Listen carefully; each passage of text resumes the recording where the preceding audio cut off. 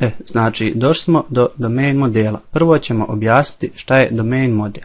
Znači, domain model ili dijagram objekata je najvažniji proizvod objektno orijentirane analize.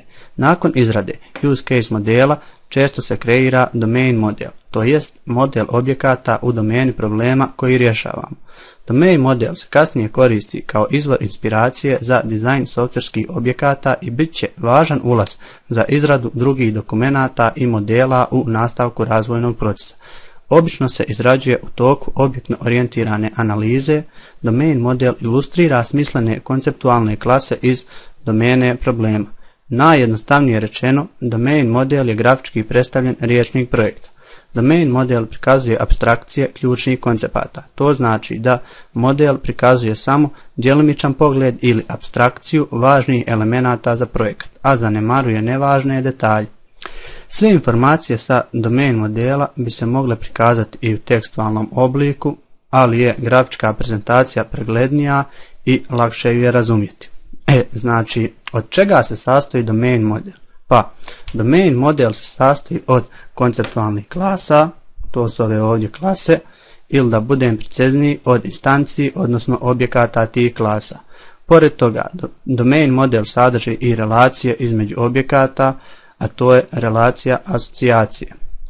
Znači, na krajima veze, kao što vidite ovdje, mogu biti ispisani ovi multiplicity izrazi, oni predstavljaju brojnost veze, to jeste kardinalitet između instanciji konceptualnih klasa. Označavaju koliko instanciji klase A može biti povezano sa jednom instancom klase B. E kako se kreira main model? Znači, centralni zadatak je identifikacija konceptualnih klasa vezano za scenarij koji se trenutno analizira. Znači, obično ne prepoznajemo sve koncepte u prvom koraku, već se identificiraju kasnije pri identifikaciji atributa ili veza. Pri izradi domain modela mogu se primijeniti sljedeći koraci. Znači, napravimo listu kandidatskih konceptualnih klasa, korištenjem kategorija, identifikacijom imenica iz use case opisa. Ucrtamo klase u domain model, ukoliko klasa nije već sadržana, znači jednostavnim koracima kreiramo željenu klasu. Da li iz trake alata ili jednostavno odemo na klase, desni klik, nova klasa. Evo, za primjer ćemo napraviti dvije klase.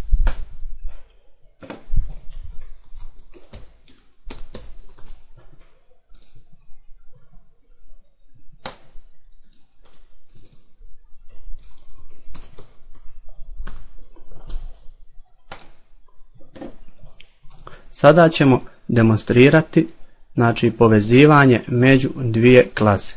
Znači nakon što napravimo dvije klase potrebno je definisati njihove atribute i operacije, ali s tim da operacije neće biti prikazane u domain modelu. Znači definišemo prvo atribute.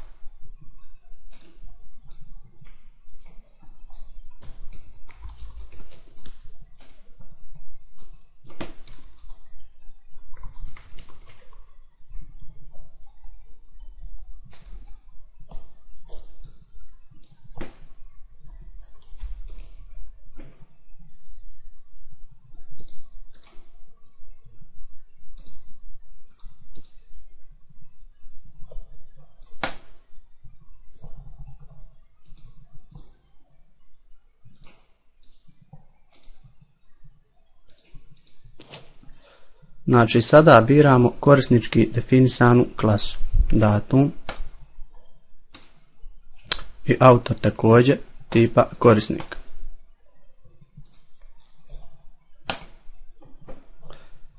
Nakon ovoga kreiramo getere i setere. Provjerimo da li je sve u redu. Da.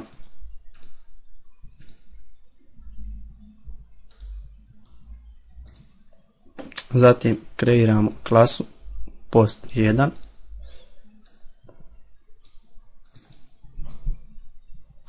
sa njenim atributima.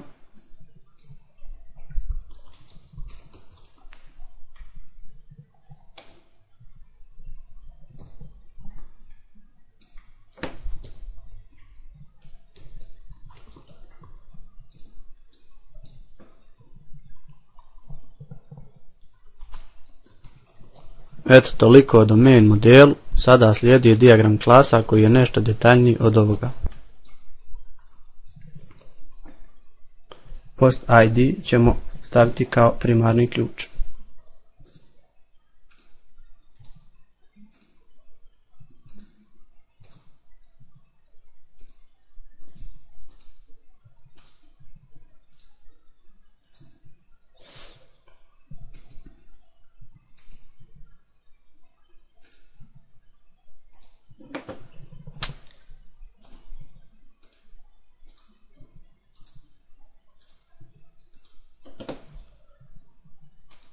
Nakon što uradimo ovo, potrebno je povezati.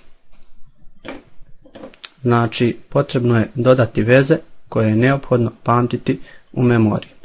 Znači, inače u domain modelu imamo četiri tipa veze. To je asocijacija, agregacija, zavisnost i generalizacija. Znači, asocijacija je veza između dvije klase koja opisuje njihov statički odnos. Naziv asocijacije znači najčešće glagol koji određuje svrhu asocijacije.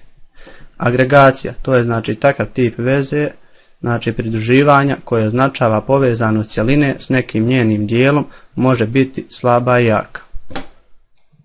Znači u ovom slučaju mi ćemo koristiti jaku agregaciju